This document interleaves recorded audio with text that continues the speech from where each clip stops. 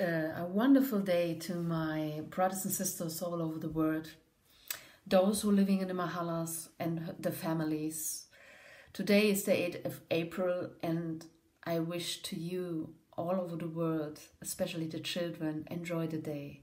Especially because of the virus, we have to enjoy it.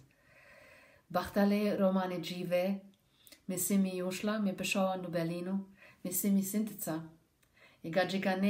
Romni, eh, mangafti penaftumenge bud lachipen, bud sastepen, tai ishukajive. Today I was thinking about what can I give on the 8th of April in these horrific times of coronavirus. And I was writing a story about Maya. Maya is a little child who, yeah, who develop strength against the virus. But it's not the virus. The virus is just a symptom of something more. Just enjoy it. Relax. And I hope you will find yourself in the story, especially the children. I'm writing here on my smartphone.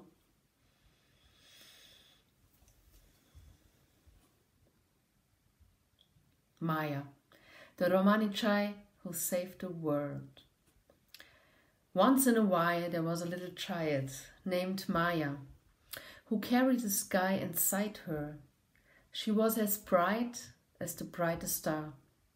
Her skin and her eyes were dark and therefore other children teased and oppressed her. Later on, the teenager did the same. Only when she became an adult, she understand why the others teased and oppressed her. This dreadful, moronic, strange word with only six letters. Ray, sis, hmm, racism. It was awful because she was a really strong child and had a great fantasy and creativity. So, if another group of children annoyed her, she could quickly beam herself to other worlds.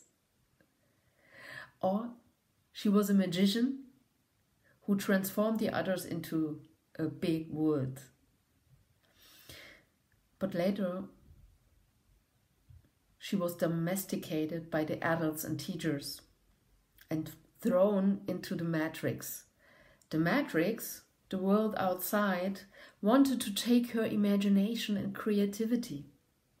She was treated punishment and expulsion from the classroom. So at the same point, she believed fantasy be the evil and the matrix be the only real thing in the world. Years later, she set out to find her fantasy and creativity back, her bright star again. But not in a matrix, just in herself. She learned acting, drama, dancing, writing to show the world that neither skin, color, origin, nor a coronavirus can destroy the beautiful star that is in everyone. So, Maya saved the world because she believed in herself and her strength and her inner star. So, I wish for you, the little children and the big children who stay children, I wish to you the same. Even if it's really a hard time, be grateful for who you are and believe in yourself, in your power, in your strength, and in your inner star. Bachtali Romane Jive.